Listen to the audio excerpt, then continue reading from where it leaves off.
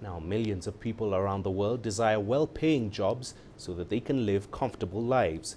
In the developed world, getting jobs can be relatively easy, but in many African countries, unemployment remains high, especially among the youth. About 60% of them are unemployed across the continent, and critics say education systems are partly to blame. CGTN's Yolisa Njamela reports on how South Africa is trying to address that problem through vocational training schools.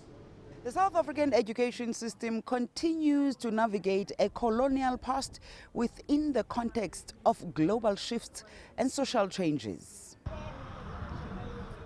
Critics argue that the current education system focuses more on theoretical learning, which is aimed at helping learners secure the limited white collar job opportunities. They further argue that this system does not equip graduates with technical and vocational skills that could help them become self employed. But South Africa is trying to ensure its education system has evolved with the changing times. This institution in Johannesburg is one of many technical and vocational education and training institutions, or TVETs, introduced by the government over a decade ago. It's meant to ensure that young people receive practical skills that will help them get jobs right after studying here. When you come here, we make sure that we enrich this youth of South Africa with skills. Uh, for an example, we have level 2, level uh, 3 and 4 NCV. While you complete a level 4, you go to the outside world. You can compete with uh, uh the working environment, with the, uh, the world outside. You can even open your, your own company. The advantage is that as they exit or as they graduate from TVET institutions, chances are that they'll be easily employed by the industry. Chances are that they will be able to start their own businesses.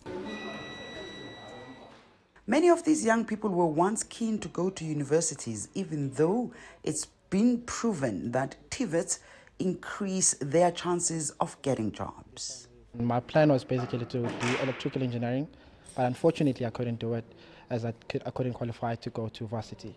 So I'd never had plans. So I took a gap year and I was advised that, okay, there's a, a college called EWC, which I can actually enroll in.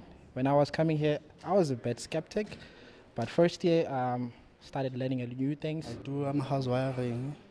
I can do house wiring, I can work on transformers, I do fault findings, lights, and everything related to electricity. I wanted to change the stigma of electricity is for men only. As women, can, we can do it better. So since then, I knew that electricity, the university is nice, but they don't give us the information we get here. Here we are all hands on, it's put on the ground. Yeah, so I'm happy where I am. These institutions have changed the way education was conducted in colonial times. Before democracy, it was a, a white territory. In other words, uh, most of the students were whites. It was not easy for blacks to come and enroll in TVET institutions, but the picture, post on democracy, the picture has changed. We've got a high intake of black students. There are currently over 50 TVET institutions in South Africa. Yolisa Njamela for CGTN in Katlehong, Johannesburg, South Africa.